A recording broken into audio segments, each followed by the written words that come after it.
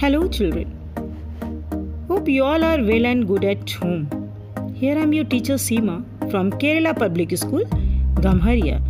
Today we'll do some exercise from My Alphabet book Small Letter. So take out page number 66. In this page, O sound written over here. M up mop, H up hop, D up dog, D or dot.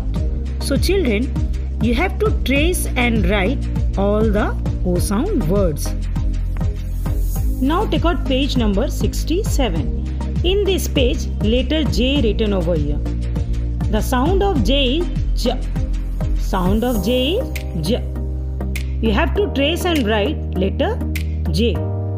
In last two line, two words written over here.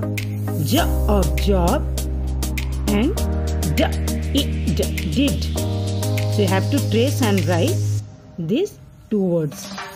Till then, stay home, stay safe. Thank you.